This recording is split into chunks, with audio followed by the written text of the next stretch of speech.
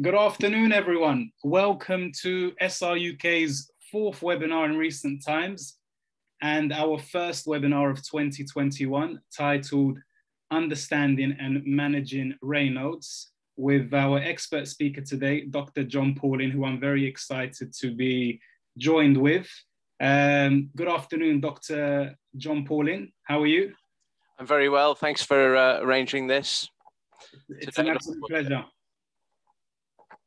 Um, so our webinar will be structured in two parts. The first part will be a presentation by Dr. John Pauling, and the second part will be a Q&A opportunity uh, where I will encourage you all to send in your questions.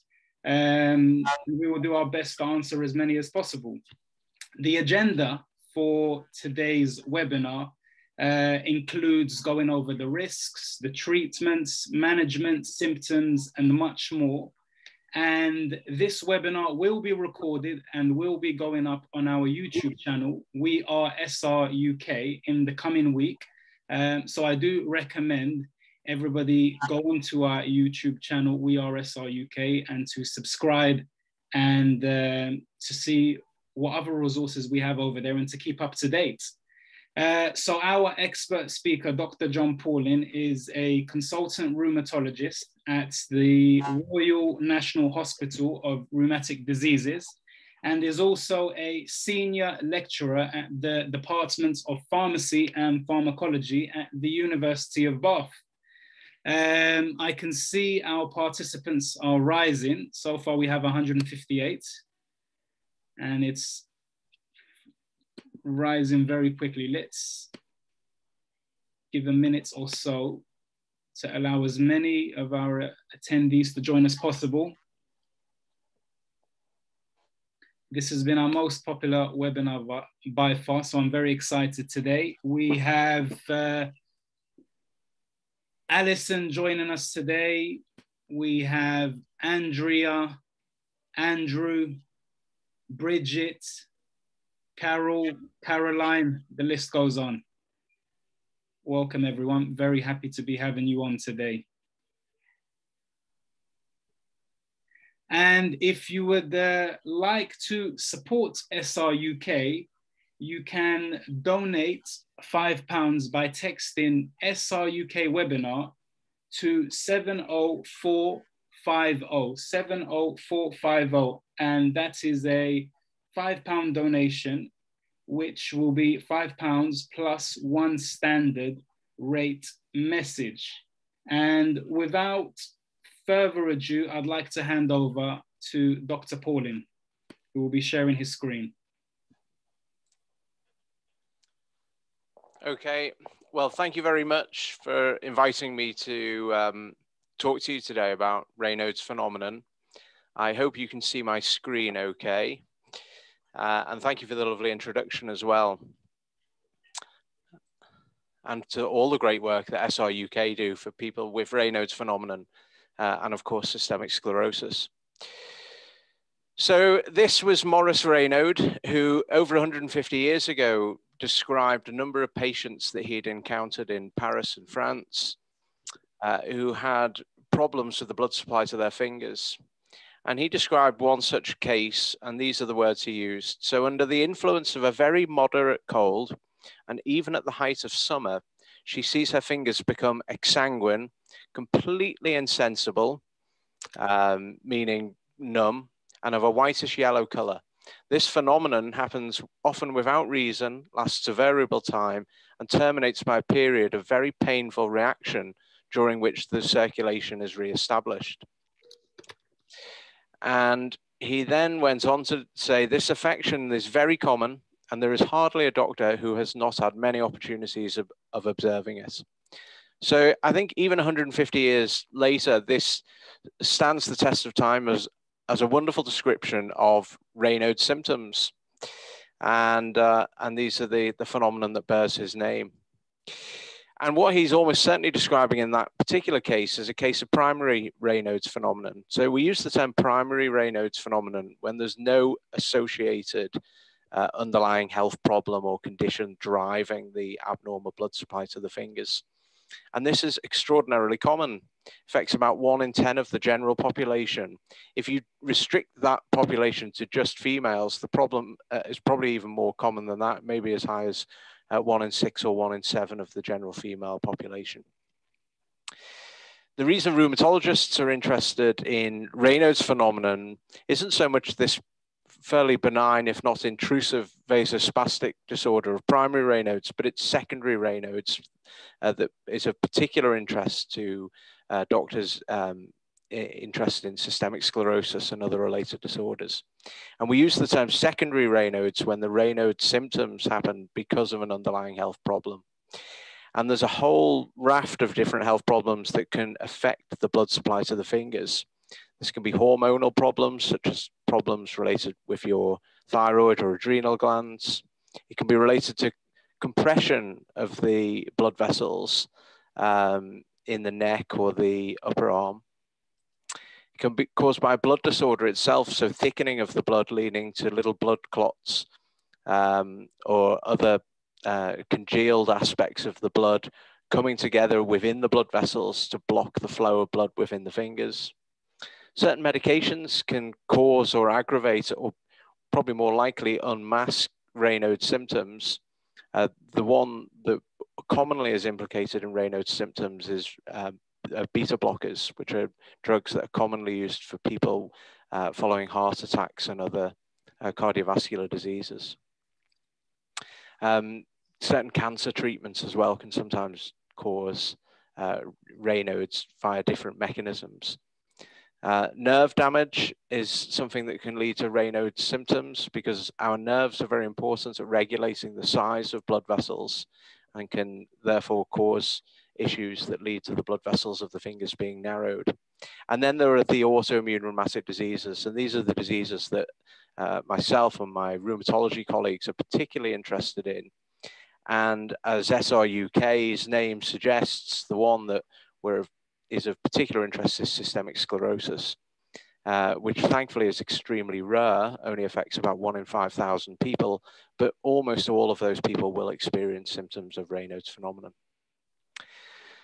So I mentioned the frequency of Raynaud's symptoms is around one in 10 people.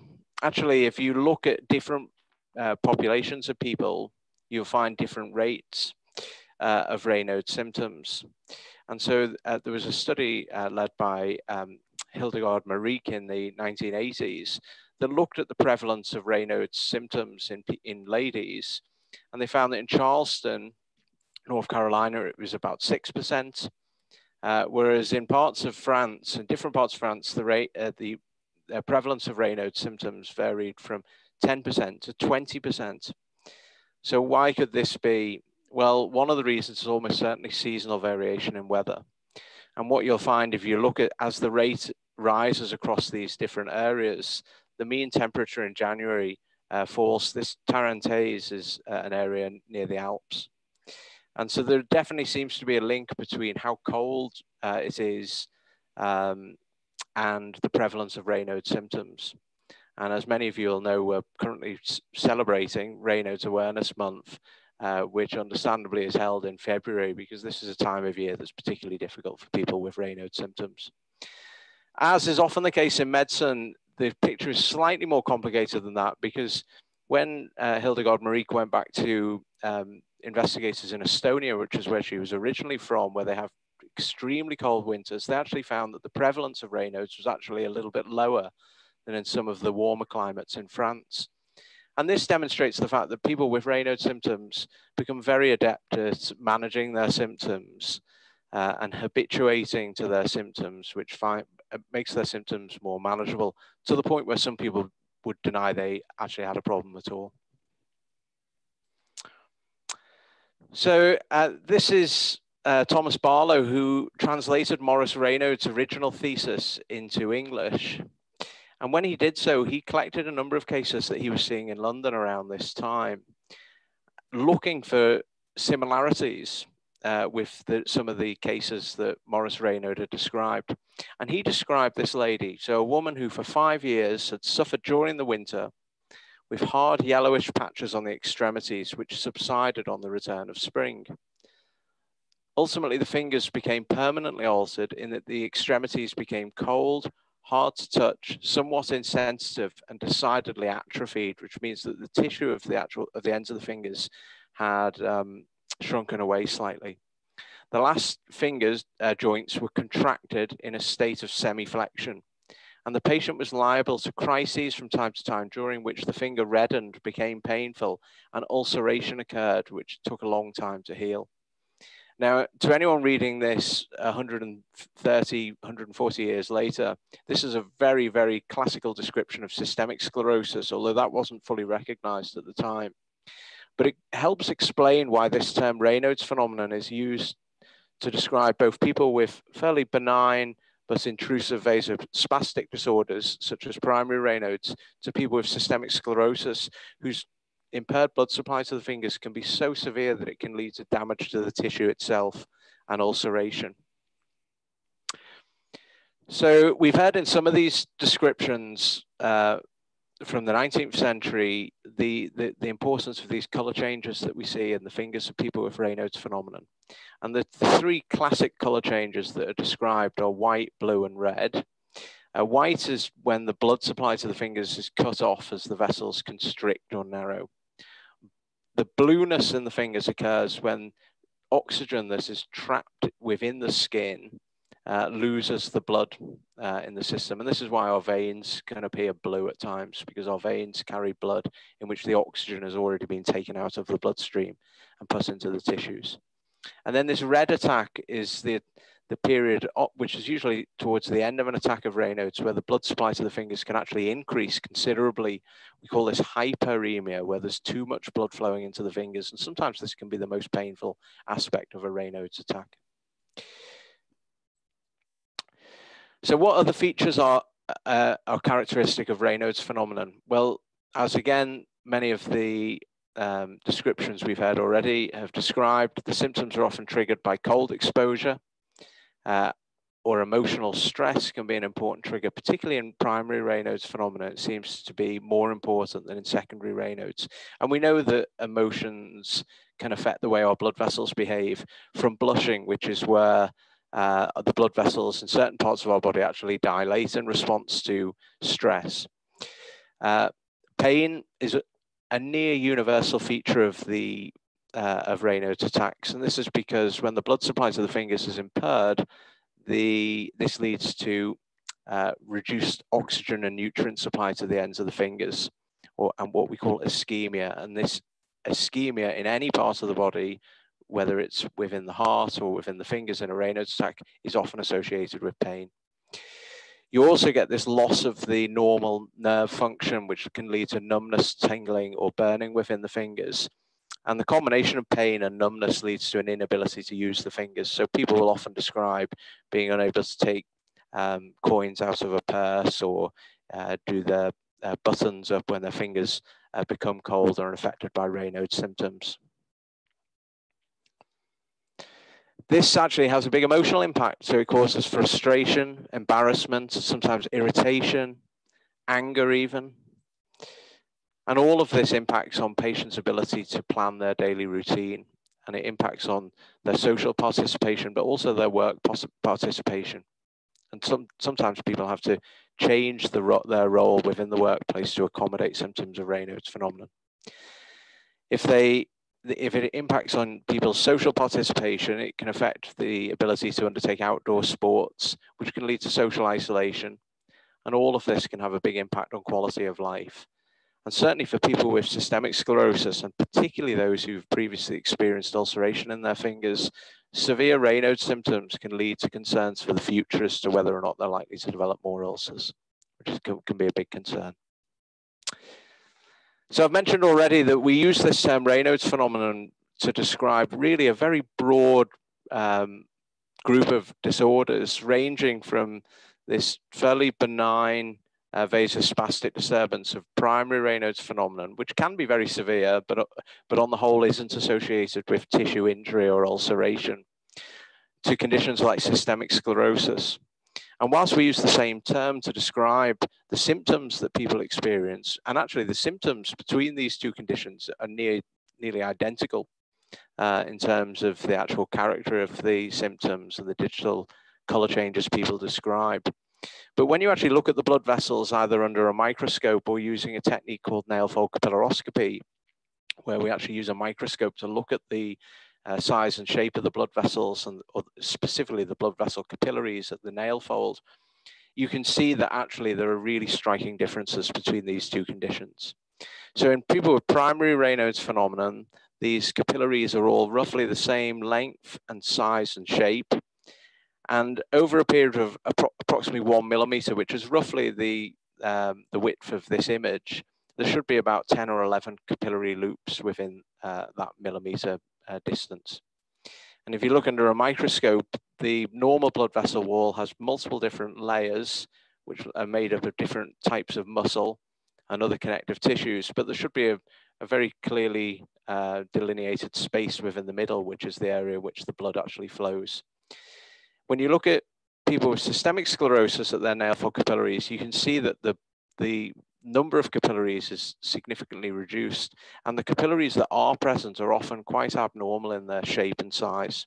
So you can get larger blood vessels than expected. We call these giant capillaries, and you can get these very abnormal looking, people have described them as looking like bushes or bushy capillaries, which is where these blood vessels have formed quickly, uh, but somewhat erratically leading to these unusual shapes.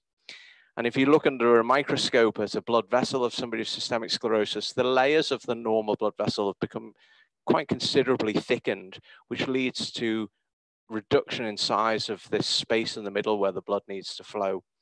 And we say that this space has become obliterated, and sometimes we'll use the term obliterative microangiopathy to describe what is happening to the blood vessels uh, in the fingers and else and other tissues of the body in people with systemic sclerosis. And these striking differences between primary and secondary Raynaud's is something that we as clinicians use as diagnostic tests to help identify people with systemic sclerosis and related disorders. So is Raynaud's phenomenon a problem in systemic sclerosis? Well, the fact that we've got nearly 200 people on this webinar suggests it certainly is. And actually, people have done surveys of nearly 500 patients with systemic sclerosis and asked them of all the symptoms they experience on a daily basis, which symptom bothers them most frequently and most significantly. And almost top of that list is Raynaud's symptoms.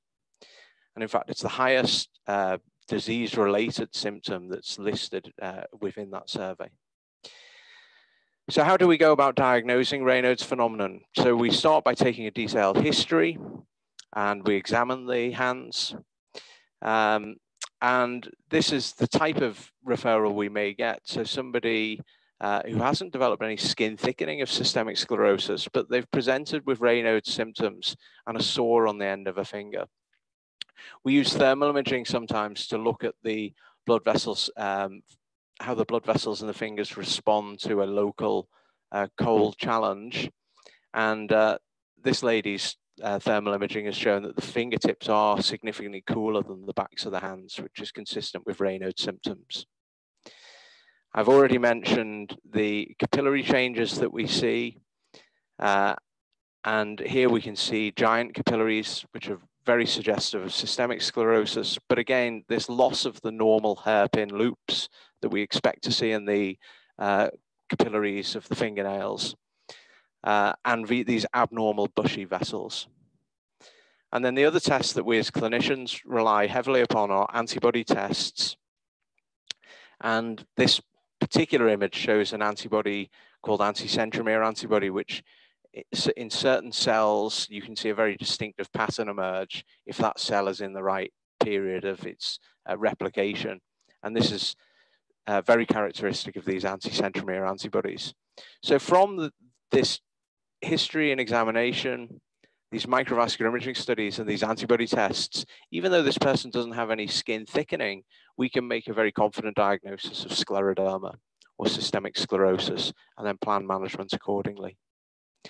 Unfortunately, diagnostic delay is a major problem in systemic sclerosis, and we know that around one in four female patients with this limited form of systemic sclerosis, which is often associated with minimal or no skin thickening, will wait over 10 years from their Raynaud's symptoms first developing uh, before they're actually diagnosed with systemic sclerosis. This was a study undertaken in Canada.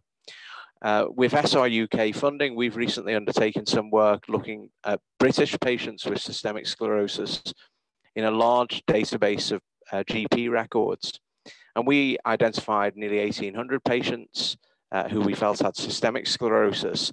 And we noted that in over half of those uh, patients, there was a diagnosis or a list of Raynaud's phenomenon, or a GP diagnosis of Raynaud's phenomenon that occurred in their medical record before the diagnosis of systemic sclerosis. So these are patients who've gone along to their GP and said, my hands have become cold and white and blue and painful and numb. And the GP has told them, oh, you've just have Raynaud's phenomenon and left us at that. And then later, other features have emerged that have prompted the GP to seek the help of a rheumatologist, and eventually a diagnosis of systemic sclerosis has been made.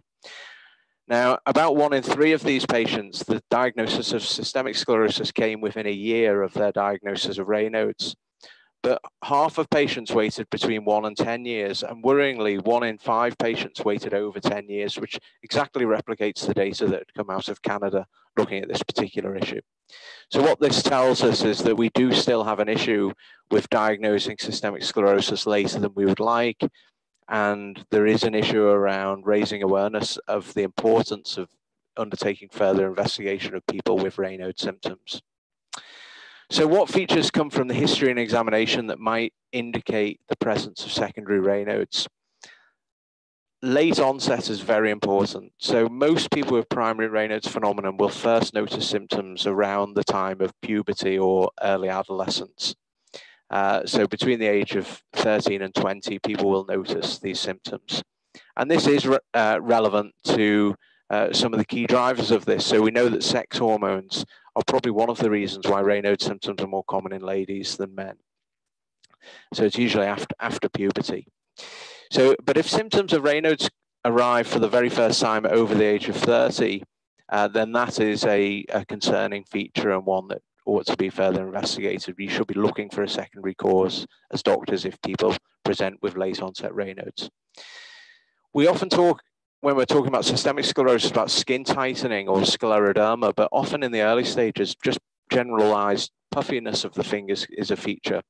So again, that's something that I would consider a red flag.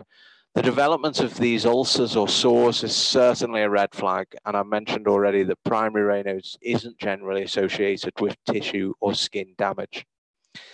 Heartburn is a very common feature of uh, systemic sclerosis. And so again, if this presents around the time of Raynaud's symptoms, then that could be a concerning feature. Or if there are other features of systemic sclerosis, such as calcinosis cutis, or which are these small little calcium deposits that can occur in the skin and scleroderma, or the red spots, uh, which we call telangiectasias, or other features that would make one think of systemic sclerosis. I mentioned already that scleroderma and the autoimmune rheumatic diseases is just one of many different um, conditions that can lead to secondary Raynaud's. So other features that really concern uh, doctors as to the possibility of secondary Raynaud's are if the Raynaud's symptoms are only affected affecting one side of the body or one limb.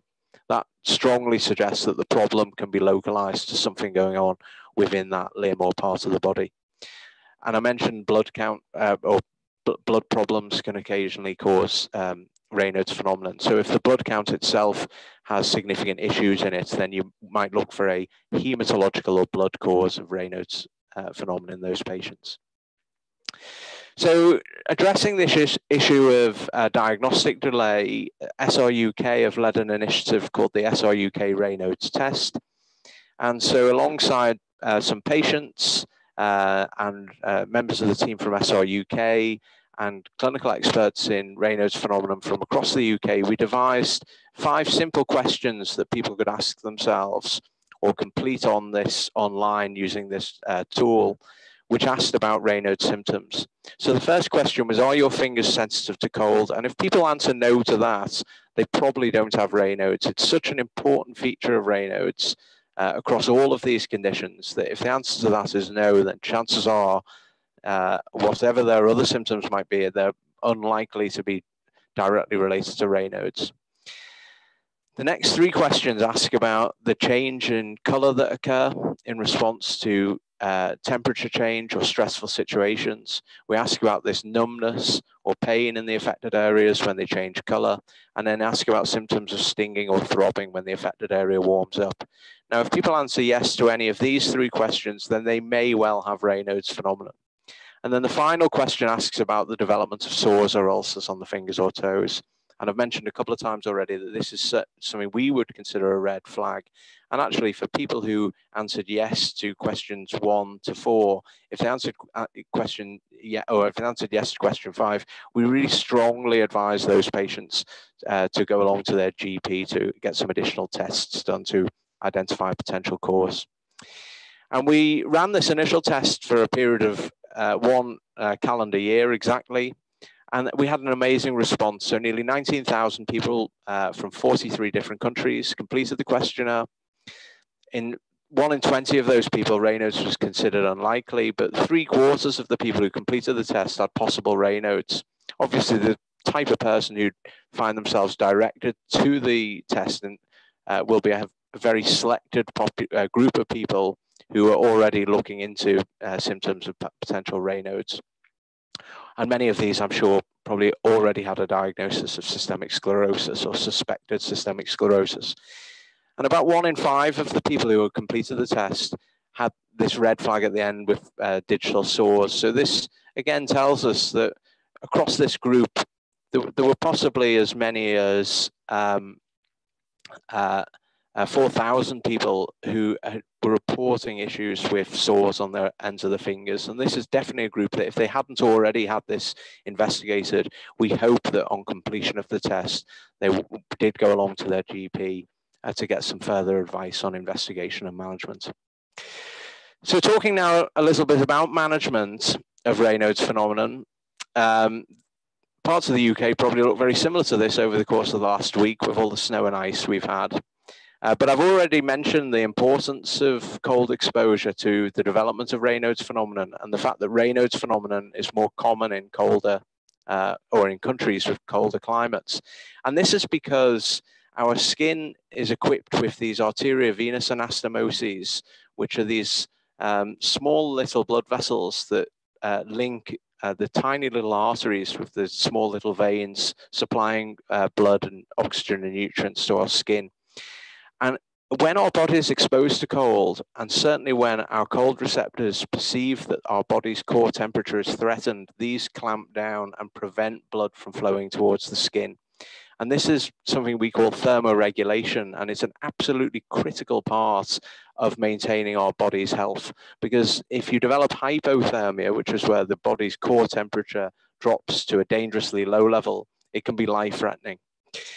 And so when our body is exposed to cold, it encourages these blood vessels to clamp down. And it's this type of action that leads to symptoms of Raynaud's occurring. Uh, and this is the other thing that leads to seasonal variation in our Raynaud's symptoms. And as you all know, that our weather, certainly here in the UK, can change dramatically.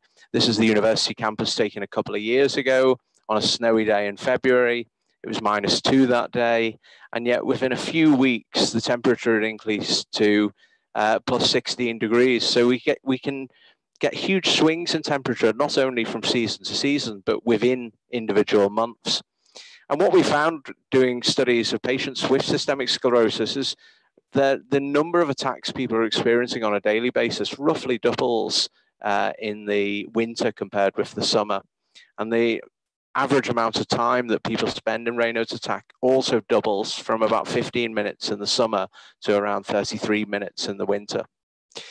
So we know that temperature and environment and cold exposure is very important for our Raynaud's symptoms. And so the first piece of advice I'd give to everybody who has Raynaud's symptoms, irrespective of the cause of their Raynaud's symptoms, is to keep themselves warm and in particular maintain their core temperature. So it's not enough to just wear gloves if the nape of your neck or your forearms are exposed to the cold.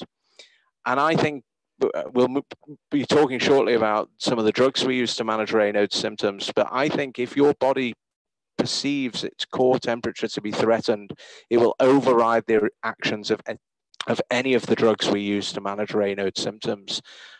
such as the importance of maintaining a normal core temperature to, to life.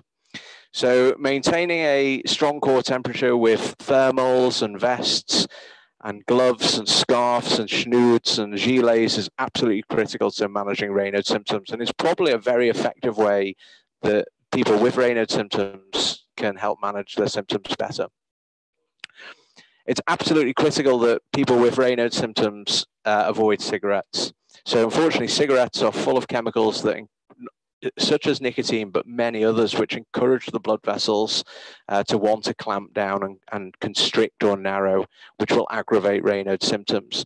And we know that people with systemic sclerosis are far more likely to develop problems with digital ulcers if they are uh, current smokers.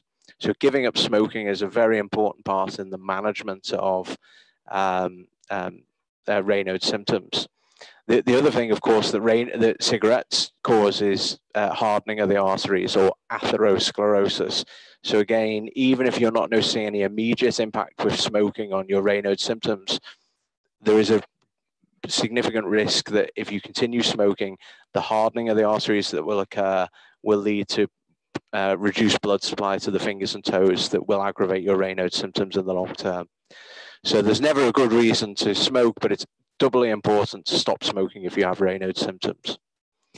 And then the final one, which again links to hardening of the arteries, is to make sure that we have a healthy diet uh, and maintain a healthy weight to avoid the furring or hardening of the arteries that can occur otherwise. There are a number of drug medications that we can use uh, to help with Raynaud's symptoms, and all of these drugs, and there's about seven or eight different classes of drugs that we as clinicians draw upon to manage these conditions. They promote vasodilatation, which is the opening up of the blood vessels, by encouraging the muscular areas of the blood vessels to relax, allowing those blood vessels to open up. And these are the, the names of some of the classes of drugs we'll use. So calcium channel blockers, an example being nifedipine or amlodipine, uh, phosphodiesterase inhibitors, uh, such as uh, sildenafil, whose uh, trade name uh, for one of the uh, preparations is Viagra, um, is a drug that we're increasingly using to manage Raynaud's symptoms in people with systemic sclerosis related Raynaud's problems. There are angiotensin 2 receptor antagonists such as losartan. And then a little surprise addition to this is the selective serotonin reuptake inhibitors. Uh, th these were originally developed as antidepressant medications, and the the one that we're particularly referring to is a drug called Prozac or fluoxetine. Serotonin is a very potent vasoconstrictor. It, it wants, it makes blood vessels want to clamp down. And by preventing the uptake of cells like platelets um, from picking up serotonin, it means that there's, there's a small, small amount of serotonin within the circulation to promote this uh, narrowing of the blood vessels. I think it's when thinking about drug management of Raynaud's symptoms, it's always important to think about stopping any medications that could be worsening matters if you're able to. And the, the commonest example, which I mentioned earlier in the talk, is beta blockers. Of course, you should never stop a beta blocker without getting advice from the doctor who's prescribing you that beta blocker.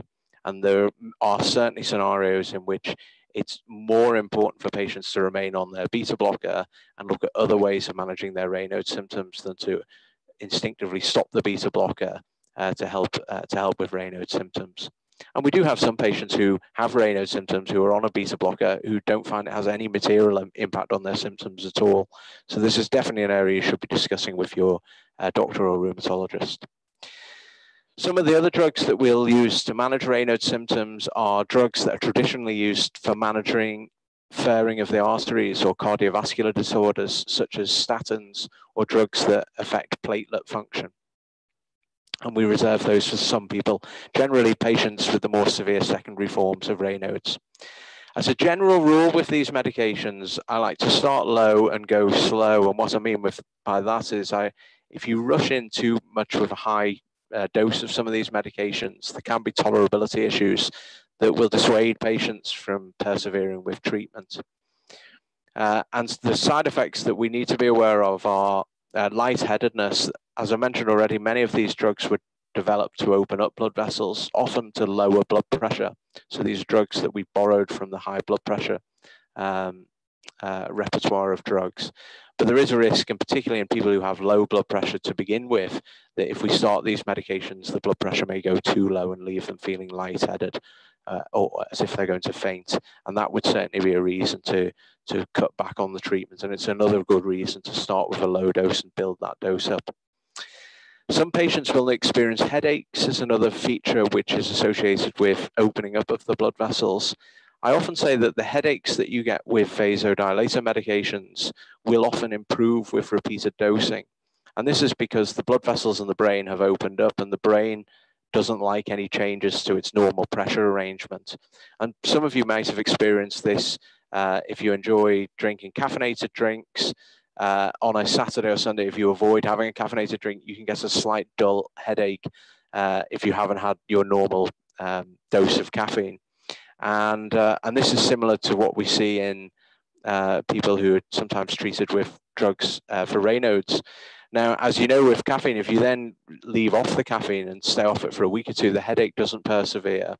And that's true of some of these medications as well. We would expect the medications to, or the symptoms uh, of headaches to often resolve with repeated dosing.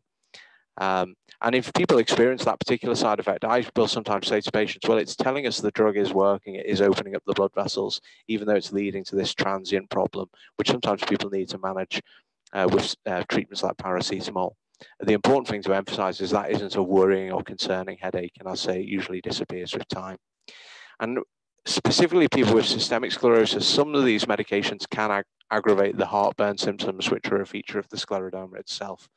And Occasionally, that's a reason for us to need to cut back on the medications. So I'm going to stop talking now so that we can have a, a question answer session, but I'll leave you with these conclusions. Hopefully, during the course of the talk, I've uh, convinced you that Raynaud's phenomenon is extremely common. And so people who are on the uh, webinar who experience these symptoms, uh, many other people are experiencing these symptoms too.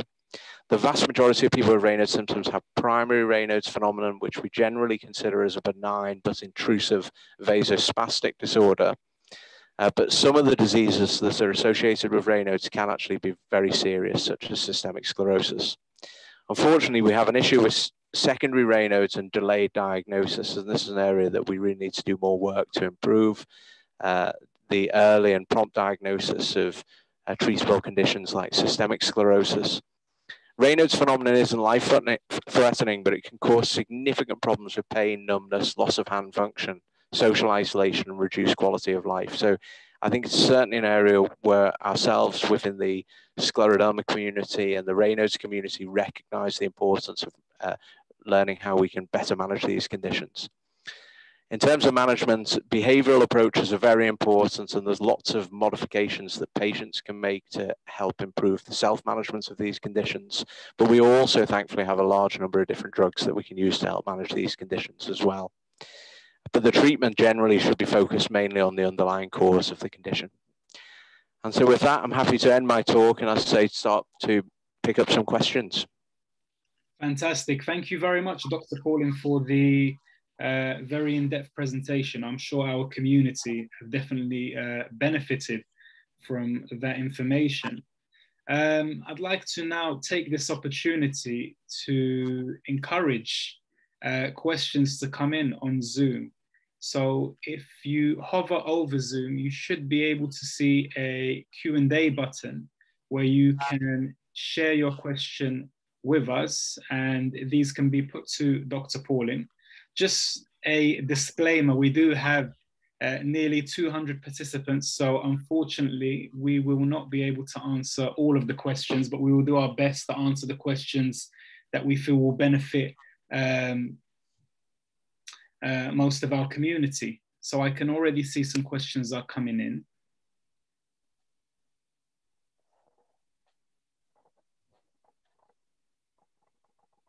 So we have a question that's come in from Danny, and Danny says, Why, whilst my attacks have reduced, other symptoms still remain, but my GP does not support a referral. Do you have any advice for that, Dr. Pauling? Um, so I'm pleased that some of the symptoms have improved. But obviously, if if he if there are ongoing symptoms that are intrusive and causing pain and numbness and some of these other issues, then they, I would encourage them to go back along to the GP. The other thing is if there are these red flags, so you know if their symptoms came on, uh, you know yeah, one of the red flags I didn't mention is actually, you know, when men experience Raynaud's, usually I'm quite keen to identify an explanation for that because it is so much more commoner in the women than men. So, um, so you know, if there are red flags, then really it's just a case of going back to the GP and saying, um, you know, I'm still having problems. Is there anyone I could, um, or you know, would you be willing to undertake a referral to rheumatology so I can get myself checked out?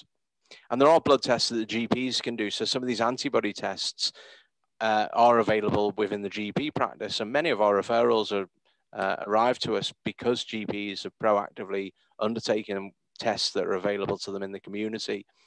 What I would say about those particular blood tests is most GPs will have access to some of the antibody tests, but not all. And obviously, there are many causes of secondary Raynaud's phenomenon that aren't related to autoimmune rheumatic diseases where those antibody tests would be expected to be negative. So, uh, you know, a negative test doesn't necessarily indicate that there's nothing the matter, and that's where rheumatologists can make a useful contribution. Thank you, Dr. Pauling. Uh, we have a, another question that has come in, and it has asked Can severe Raynaud's cause angina type symptoms? Yeah. So it's a very good question, and it's an area that people have looked at. So people, you know, investigators have often wondered if people are getting vasospasm of the blood vessels in their fingers, is this happening in other um, vascular beds such as the heart? At the moment, we haven't been able to find conclusive proof of a link between primary Raynaud's phenomenon and future heart problems. I, my own personal bias is that there may across the whole group not be a, a, strong signal, but there might be groups of people within what we call primary Raynaud's phenomenon that are at a higher risk than others. But unfortunately, this is an area that needs to be investigated further uh, with research to better understand that link.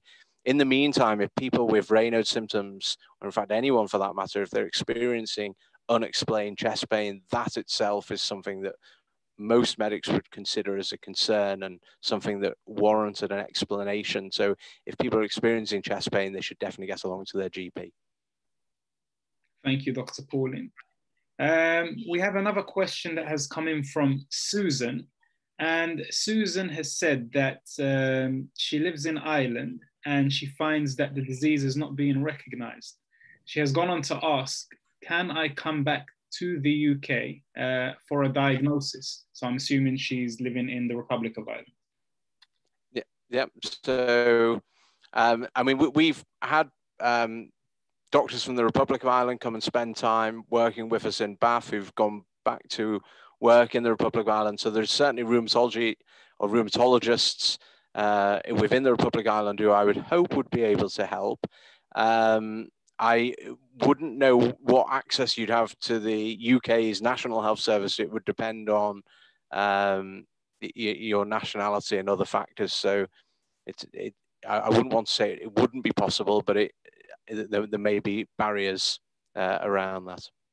Sorry, Dr. Pauling, I feel like I put you a bit under the spotlight with that question. Um, we have another question from Kathleen, and Kathleen asks, can the disease also attack internal organs, as well as hands and feet and nose? Yeah, so that's certainly a concern in secondary Raynaud's phenomenon.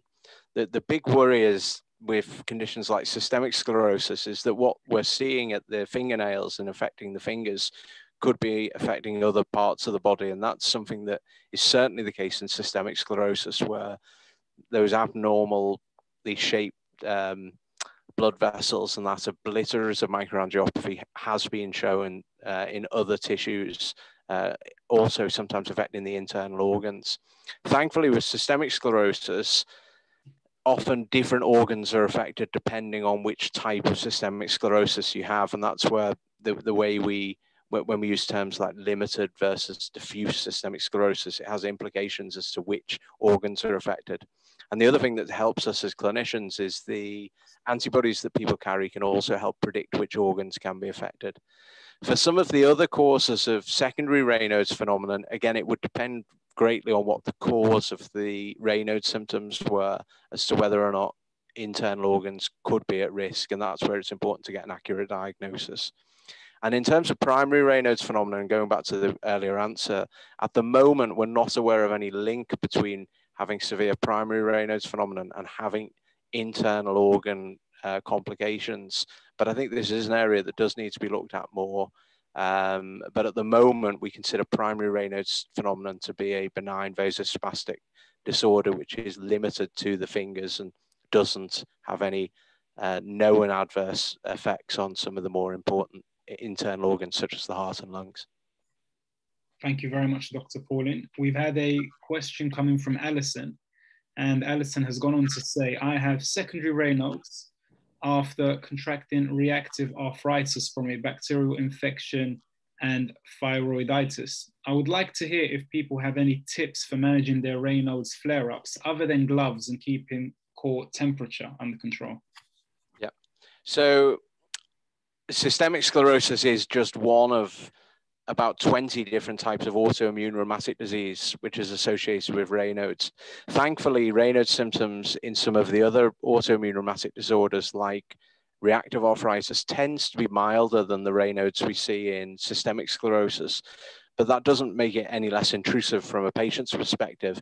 But I would say that ulcers and tissue damage related to really severe blood vessel abnormalities in the fingers is extremely rare, thankfully, within some of those other conditions.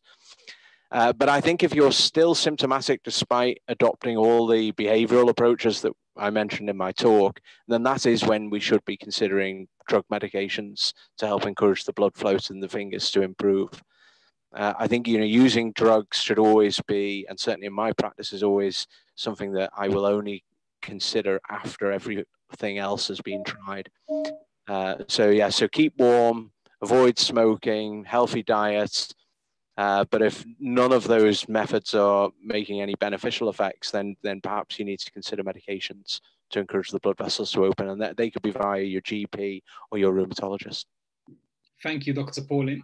Uh, a question has come in from Toby, who has followed up on that and has asked, are there any herbal remedies rather than drugs that can help? Bit of an interesting question. It's, it's a very good question, actually, and I should have put that in my talk. So, I uh, but lots of our patients want to know about herbal approaches to managing Raynaud's symptoms.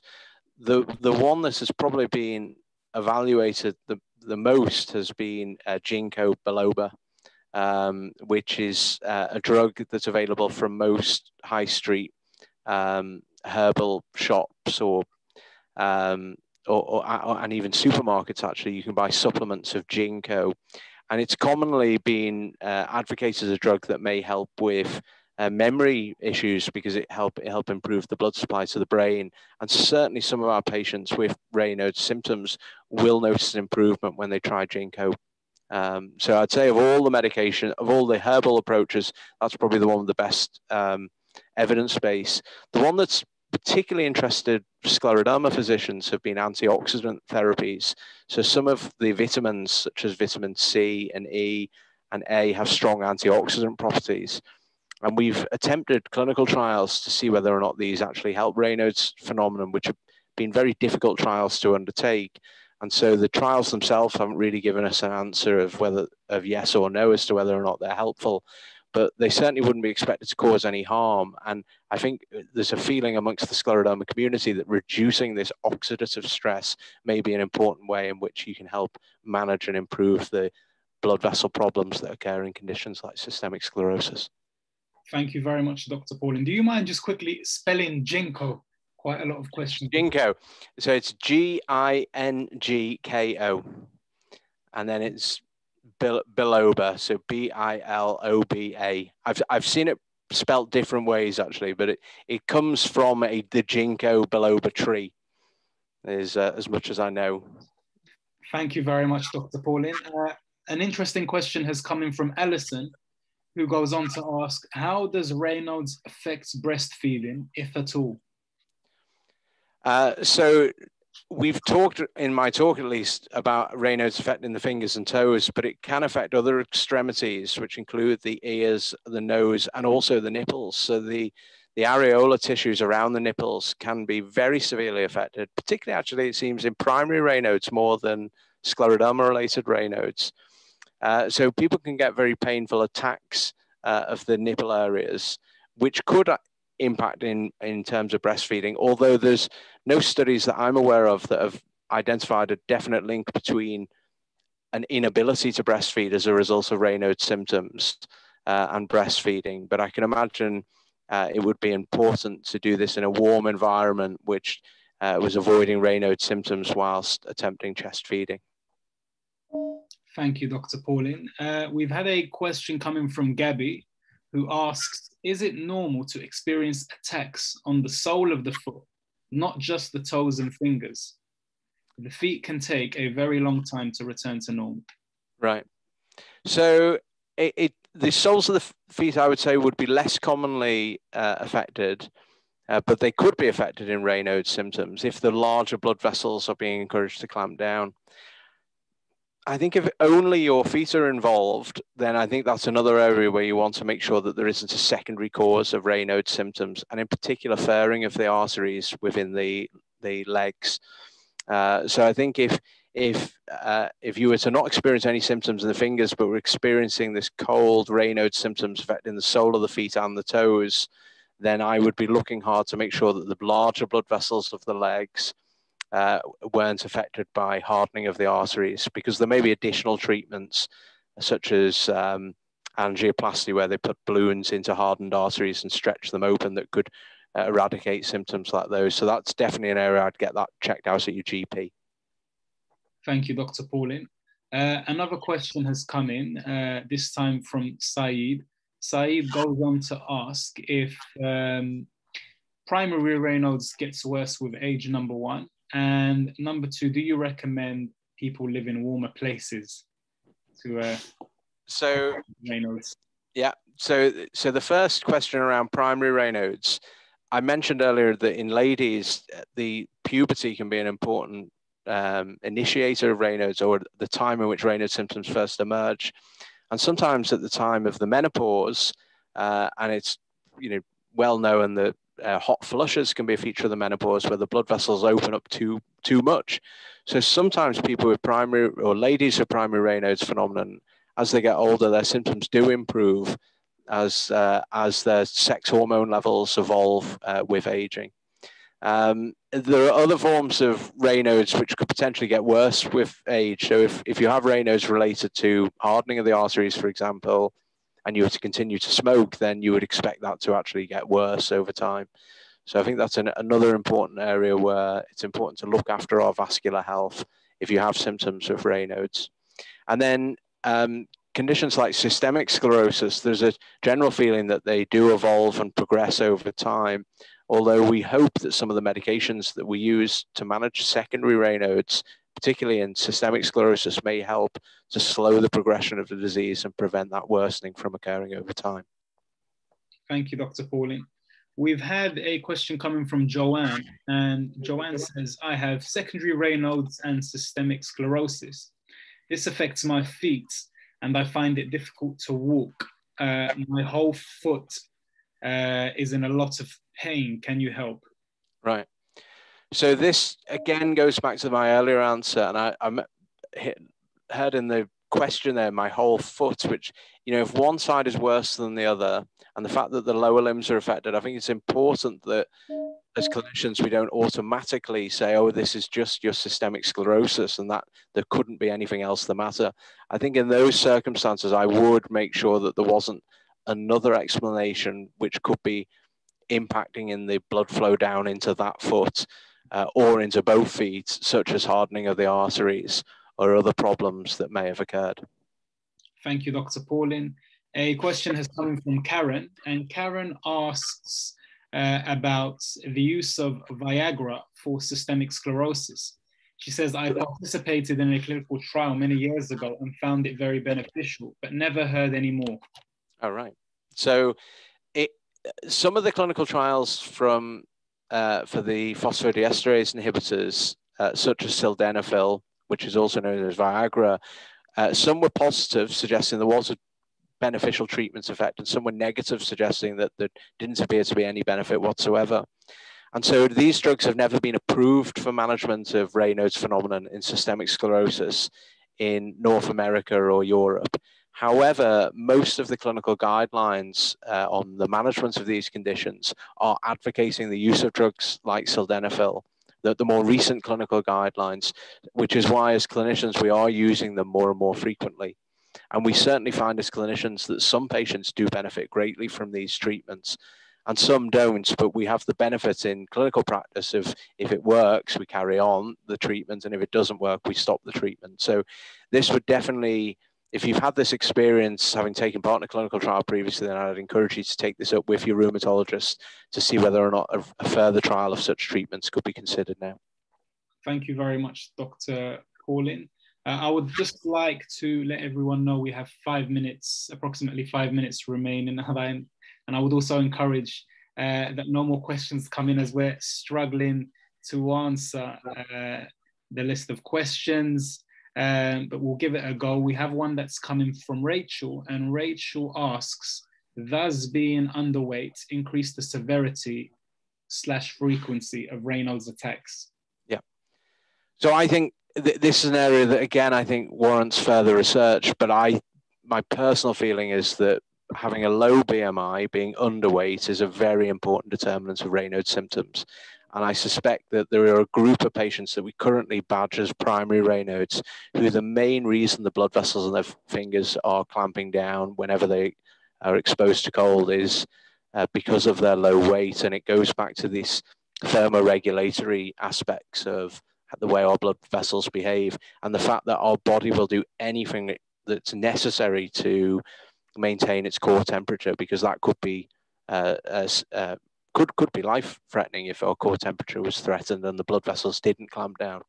So I think there is a an, a definite link between having low weight and Raynaud symptoms. Uh, you know, so, so, there are some people who are just naturally extremely slim and struggle to put on weight for a whole variety of different reasons. And in those scenarios, if, if you're unable to uh, build up your weight to a healthier weight, then I think it's extra important to maintain your core temperature with lots of layers and gilets and thermal uh, tops and bottoms to help maintain that core temperature. Thank you very much, Dr. Pauling. We've had a question coming from Sue, and Sue says, I have primary Raynaud's, and so does my brother and my son. Can it be inherited? Yep. So, again, this is an area that has been looked at. So people have looked for certain genes that we think are related to the way the blood vessels behave um, and see whether or not there are abnormalities in those genes in families where Raynaud's clusters. And we certainly find that there are some fam- families where lots of people have Raynaud's symptoms and other families where nobody has Raynaud's symptoms. So I suspect genes are an important determinant of some of these vasospastic disorders. We know that genes are also an important um, factor driving autoimmune rheumatic disorders like systemic sclerosis. And there has been work that's shown that if somebody in the family has a condition like systemic sclerosis, it's more likely that other members of that family will also have Raynaud's symptoms. So, so I think it's a brilliant question. I think there are definitely genes that lead to this clustering of Raynaud's symptoms within different families. And I think perhaps some of those families need to be more rigorous about getting themselves checked out to make sure there isn't something else going on that could explain those Raynaud symptoms. Thank you very much, Dr. Pauling. And our last question um, that we will that we will answer is from Cara, and Cara has gone on to say, "I have found um, uh, shock changes in environments um, bring on symptoms." Um, she has also gone on to say, um, "Has there been any research performed into the claims of uh, Wim Hof's cold therapy?" I'm not sure if you've come across Wim Hof, uh, Dr. Pauline. Well, I'm going to start with the first section. So, changes in temperature is very important. So, people will often find that if they go into an air conditioned building where it's been 30 degrees centigrade outside and 23 degrees centigrade in the shop, that change, even though 23 degrees centigrade is still warm, that change in temperature will often trigger an attack.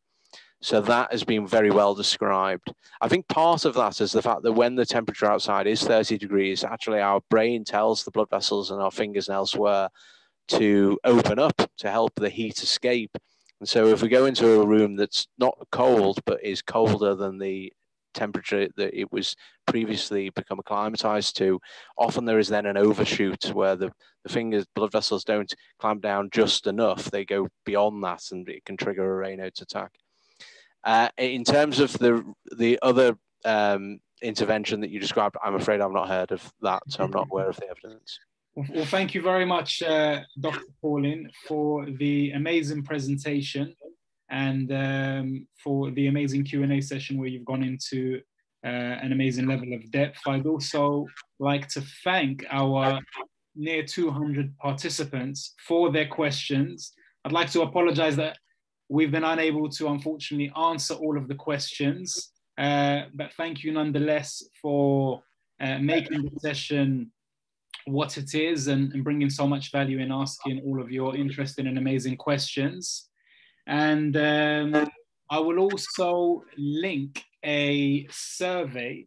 Um, so um, future webinars can be adapted um, to best suit your needs. And I will just add that in very shortly uh, into the chat.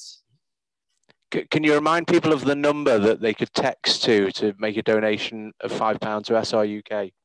Thank you very much, Dr. Pauling. Uh, so to make a donation of £5 to SRUK, you can text SRUK webinar in uppercase to 70450, and that will cost £5 plus one standard rate message. Thank you very much for the reminder, Dr. Pauling. Uh, and thank you so much to everyone for their support and for all of the donations that have been coming in. Um, and, and perhaps some of the questions that we haven't answered could we could collate and and then I could do a Q&A for one of the SRUK newsletters and hopefully uh, tackle some of the questions that weren't answered on the webinar. That would be absolutely fantastic. That would be absolutely fantastic. So I've just added in the the uh, survey link uh, so please do let us know what you thought of the of the of the webinar, uh, so we can uh, best improve our webinars in future. Uh, but otherwise, I'd like to thank everyone for being involved, and again, thank you, Dr. Pauling, uh, so much for the amazing webinar session. And I'd like to wish everybody a lovely Tuesday and a lovely rest of the week. So take care, everyone. It's been a pleasure. Yeah. Take care. Bye bye. Thank you, Zeba. Thank you, everyone.